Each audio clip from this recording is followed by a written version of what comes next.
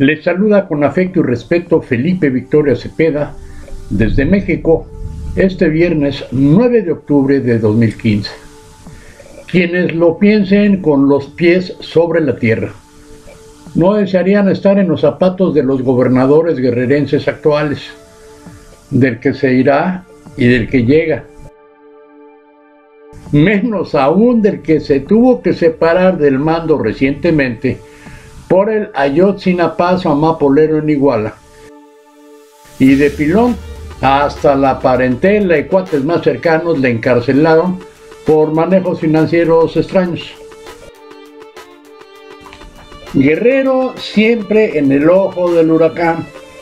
Tan solo recordemos aquel 9 de octubre de 1997, cuando Acapulco y muchas partes del estado amanecieron devastados por el huracán Paulín.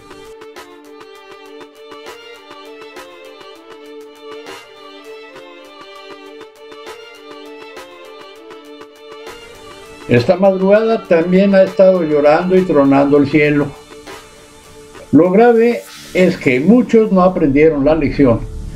Y si de nuevo la naturaleza hiciera de las suyas con viento y tormentas, habría otra vez muchos damnificados, sobre todo en las zonas de riesgo que temerariamente volvieron a habitar. Eh, al cabo que el tenor Plácido Domingo regala casitas. Muchos malos funcionarios sueñan con que haya contingencias meteorológicas para que se declaren eh, emergencias y al recibirse los recursos de la federación tengan de dónde roer y joder. Recordemos igual lo sucedido con el choque de las tormentas Ingrid y Manuel en septiembre de 2013. Millonadas de allá para acá, de las que se las ingeniaron muchos para sacar tajado. Yo recuerdo esos vales para enseres electrodomésticos destinados para damnificados, pero que algunos voraces servidores públicos de los tres niveles distribuyeron como le dieron gana. Ni qué decir de la feria del reparto de concesiones para obras de reconstrucción, los inflados sobreprecios y los obligados diezmos, o las despensitas almacenadas echándose a perder porque las pensaban repartir hasta la temporada de las campañas políticas.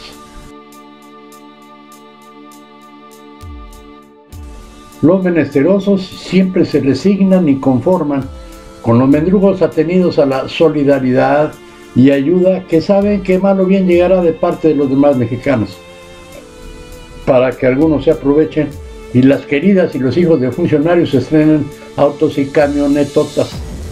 Lamentables tantos fallecimientos en aquel Paulín de hace 18 años, pero ¿cuántos fueron por negligencia y desidia de las víctimas que no quisieron hacer caso de los avisos preventivos.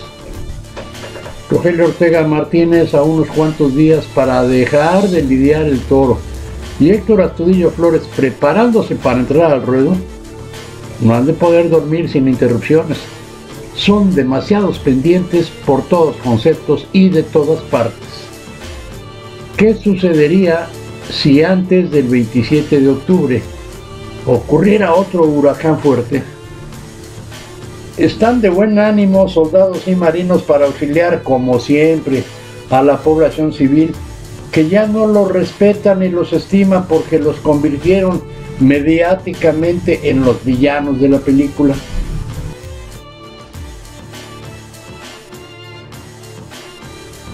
Pero esos temores no son lo único que quita la tranquilidad al gobernador sustituto Ortega y al electo Astudillo la ingobernabilidad se disparó junto con la inseguridad pública.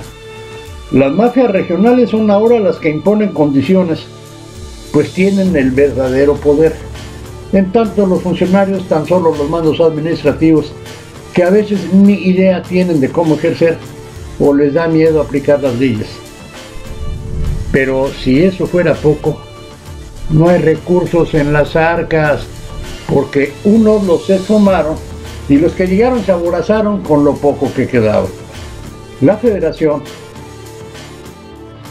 no parece dispuesta a seguir asignando millonadas sin ton ni son. Y habrá que apretarse el cinturón, claro, los que aún tengan.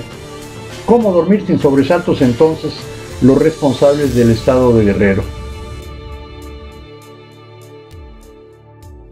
Felipe Victoria agradece que me sigan en Facebook y YouTube. Gracias por compartir el mensaje. Pero ya lo saben. no lo digan.